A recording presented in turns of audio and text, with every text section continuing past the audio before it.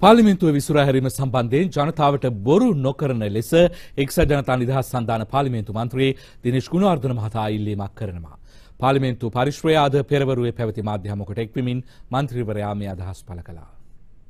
ආණ්ඩුවේ දවස්සිය වැඩපිළිවෙල තාම ක්‍රියාත්මක වෙලා නැති බව කනගාටුවෙන් ප්‍රකාශ කරන්න ඕනේ. අද දේශපාලන ස්ථාවර භාවයක් නැති දවසින් සතියෙන් සතිය පවතින ආණ්ඩුවක් බවට පත් වෙලා හමාරයි. ජනාධිපති මෛත්‍රපාල ශිෂ්‍යයන් මැතිතුමා අග්‍රාමාත්‍ය රනිල් වික්‍රමසිංහ මැතිතුමා පොරොන්දුවක් වුණා පාර්ලිමේන්තුව විසිරුවා හරින්න බව. අපි කියනවා ජනාධිපතිතුමාටත් අග්‍රාමාත්‍යතුමාටත් පාර්ලිමේන්තුව දැන් විසිරුවා හරින්න. දිනසිය වැඩසටහනේ බොරු කලාමෙන් මේ ගැනත් බොරු කරන්න සූදානම් වෙන්න එපා. 19 වෙනි ආණ්ඩු ක්‍රම ව්‍යවස්ථාව රටට පෙන්නපු ආණ්ඩු ක්‍රම සංශෝධනය නෙවෙයි.